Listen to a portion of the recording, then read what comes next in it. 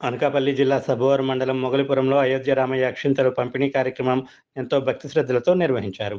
ఇక్కడ మాజీ ఎంపీటీసీ సభ్యుడు గండి రవికుమార్ సారథ్యంలో శ్రీ సీతారాముల ఆలయం అభివృద్ధి కమిటీ ఆధ్వర్యంలో ఈ అయోధ్య రామయ్య అక్షింతల పంపిణీ కార్యక్రమం భక్తి పారవస్యం మధ్య నెలకొంది.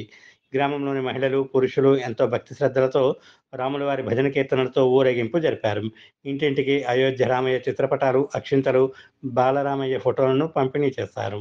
ఈ కార్యక్రమంలో మాజీ సర్పంచులు బైలపూడి సత్యం తమరాను బంగారు నాయుడు గ్రామ పెద్దలు పురజనులు అత్యధిక సంఖ్యలో పాల్గొన్నారు.